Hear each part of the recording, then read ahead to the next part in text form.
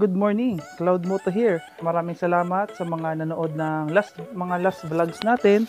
Magpapasalamat ako sa inyo lahat. And ngayon pasensya pala guys, medyo madidelay ang next vlog natin kasi medyo naging busy tayo. Ngayon naman ang pag-uusap pag-uusapan natin is pag-change oil ng motorsiklo. Uh, at ang pag-change oil is halo periodically naman ginagawa sa bawat motor.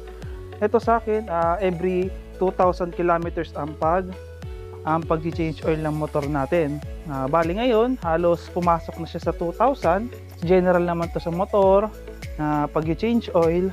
Uh, naintindihan ko rin sa iba na medyo nahihirapan na rin pag pupunta sa kasa o uh, pumupunta o uh, gumagastos kayo ng additional na budget sa pag-change oil ito at at least ito makatulong to sa pagbawas ng paggastos nyo. Matuturuan nyo rin yung sarili nyo para mag change oil. Yan. Ngayon guys ha dahil mag-umpisa na tayo ng pag change oil ipapakita ko sa inyo yung mga kailangan gamitin. Yan guys ang mga tools o equipment na ginagamit pa nag change oil. Okay ito sa motor natin. Una-una natin bubuksan is itong dipstick. Na nakalibinuksan ko na siya na onte na So, so nga pala guys, uh, para matanggal natin yung oil sa uh, ano natin sa engine, ang bubuksan natin tong uh, itong itong drain plug na to. And dahil may nakasano na rin, nakaabang na sa luha, bubuksan lang natin 'yan. Uh, ang paghigpit niyan is uh, clockwise and ang pag luwag naman yan is counter clockwise kapag luwag nito uh, dahan-dahan lang din para at least hindi nyo masyado masira yung yung tornilyo para din nyo na rin matamaan din to. Ingat-ingat din. Pero dahan-dahan lang. Yun. Pag naramdaman nyo na lumuwag na siya kamayin nyo na lang. Yan ito ito ang drain plug ng motor natin. Ah uh, pag natanggal nyo ito linisan nyo rin linisan nyo na rin gamit yung basahan. Kasi nasa ilalim nga mas magandang nalilinisan.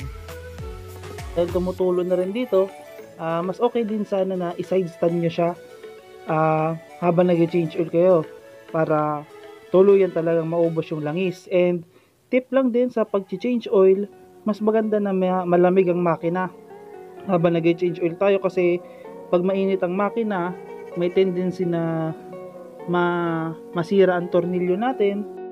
Kapag nasisira ang drain plug natin uh, mahirap mag dito naman tayo sa sa may sa oil filter. Uh, ito pala ng oil filter ng Vega Force FI bubuksan natin tong tatlong tornilyo niya. Yung nakahamba lang to, i-adjust natin yung, yung brake pedal adjuster niya para bumaba to.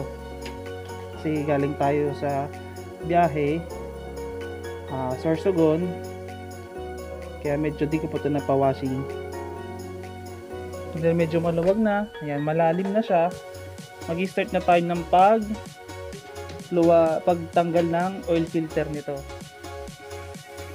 Yan konting luwag lang luwagan nyo muna lahat. Kasi kaya madali itong lumuwag kasi hindi ko rin masyado hinigpitan dahan-dahan pagbukas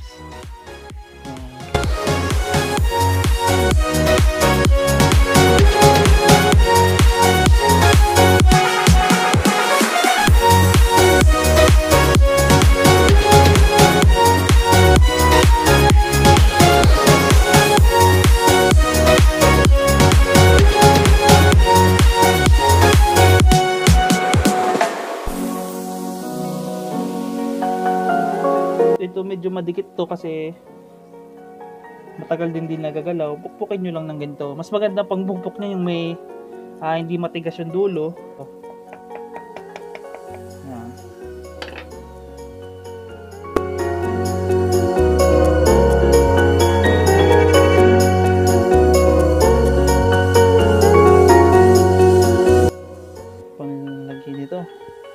Uh, bali guys, ito nga pala, uh, tawag dito is oil filter na o-ring.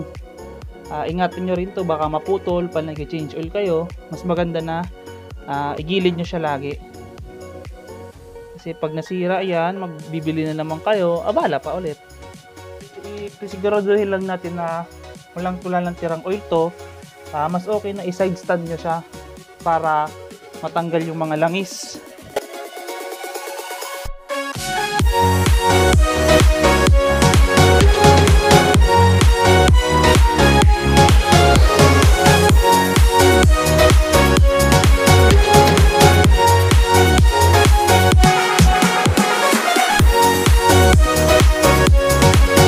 Sa pagkabit pala nito guys, ang oil filter natin, ganito ang itsura niya. And may butas dito sa kabila and dito sa kabila sarado. Tapos sa pagkabit niya, itong butas nito dito siya naka naka